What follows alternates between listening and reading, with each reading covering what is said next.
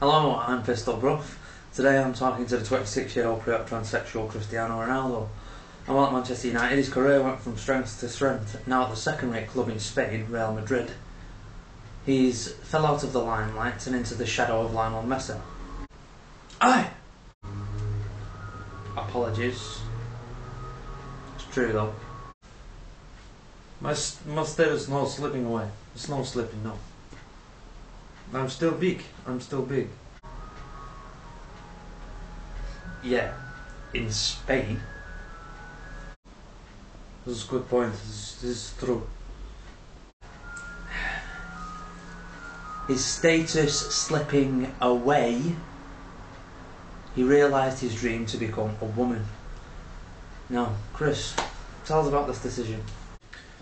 Well, it's not easy decision, but I, I need to do it, and uh, my, my friends, my family, um, but most of all my civil partner, he want me to, to do this, so it, I do it. Oh, how disgusting. Yeah, it's easy decision, uh, if you say so. Now,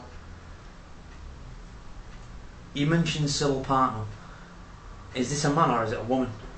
Of course he's man. He's uh, he's he's my teammate Kaka. We uh, we meet when I signed for Madrid. Um, our eyes meet across locker room. Sparks fly, and um, before you know, I'm sucking. Enough. Enough.